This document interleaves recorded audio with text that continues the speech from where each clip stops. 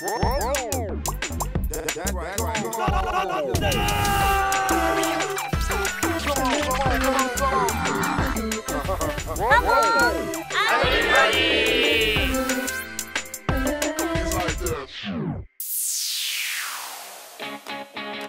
こは鹿児島県立農業大学校。収穫体験します。はい。すごいみずみずしくて。美味しい。ミルクあげます。飲んでますね。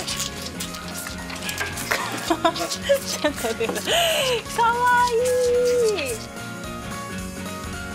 農業大好き。私エイトクタカ子が今回のナビゲーター。さて皆さん知っていますか？鹿児島県は全国第2位の広い畑地を生かした野菜牡蠣茶などの生産が盛んな場所。また豚和牛の使用頭数日本一を誇る畜産県なんです。これからは新 3K の時代。若手農業者を中心にスマート農業などを活用した感動かっこいい稼げる新しい農業が進められています。それでは鹿児島の若手農業者に会いに行きましょう。鹿屋市の福留小牧場を訪ねました。福留さん福留小牧場では養豚と肉の加工販売も行っているそうですね。弟の方がドイツでマイスターを取得して一頭丸ごと精肉加工しながら命をすべてきれいにいただくと。いうことで独自産業しています。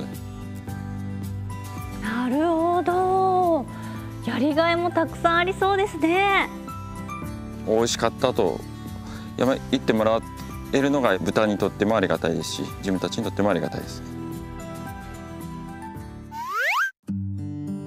続いては愛知県から移住した磯部さんの農場へ鹿児島で農業を始めた時希望とか不安とかあったんじゃないですか？ですね。最初もう知らない土地に来てもう何もかも不安だったんですけど周りの方々が支えてくれて新規収納することができました。そうだったんですね。これからの目標とかありますか？人とのつながりが大切だなっていうのがあって鹿児島でこれからの農業を支えていきたいなと思っています。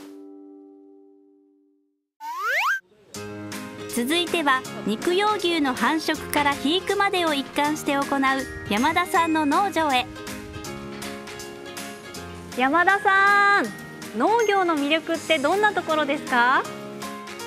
自分家で産まして小さかったけどこの牛をどこまで大きくできるかっていうそれが今自分の中じゃ楽しみですかね。山田さんは夫婦で牛を育てているそう。一緒に働けるっていいな。あまあ自分がこう時期忙しい時期とか人が休みの時はまあ稼いしてくれるからですね。今回紹介した方をはじめ地域の若手農業者には鹿児島県立農業大学校を卒業した人も多いそう。鹿児島県立農業大学校は農業に関する高度な知識や技術を身につけ次の世代の農業の担い手を育てるために作られました。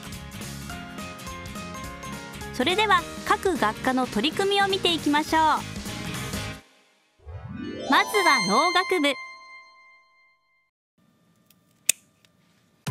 農学部には野菜科柿科茶業科果樹科4つの学科があります。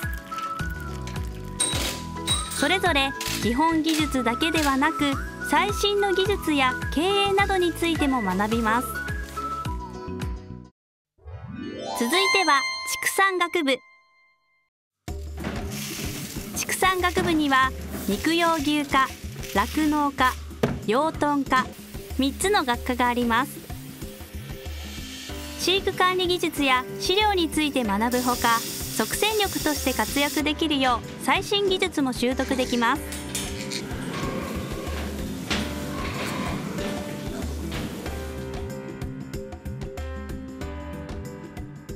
さて学ぶだけではなくてキャンパスライフも農大の魅力の一つ。学生の暮らしを覗きに行っちゃいましょう。まずは学生寮。全寮制の農業大学校。2年間寮で生活しながら学びます。肉用牛科の4人に話を聞きました。寮生活ってどうですか？楽しいです。まあみんなで教え合える。協力しながら結構できるのでいいと思います。続いては学生食堂。農大生のお腹を満たす学生食堂。朝昼晩3食利用可能です。うんおいしそ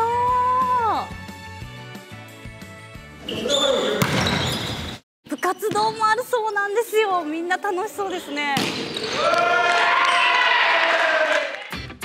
課外活動や農大祭など年間を通してさまざまな行事があります。また毎週金曜日に開かれる農産物校内販売会などさまざまな経験をします。自分たちで作ったものを直接販売するんですね。農大にはいいところがまだまだいっぱいありますよトラクターの免許など資格取得ができるほか農家留学研修や海外研修も行っています。将来の夢は、まあ、畜産経営者で、まあ、父親の後を継いでで牛飼いをやろうかなと考えてます。新規収納して一から経営者として頑張っていきたいと思います。私は農業高校出身でその時に農業えっと実習を手助けしてくれる先生がいてその先生にとても助けられたので私もそういった先生になりたいなと思ってます。感動かっこいい稼げると進化している農業。農業大学校や鹿児島県のサポート体制も整っていますのでぜひ農業で未来の種を育ててください。Lottie Lottie.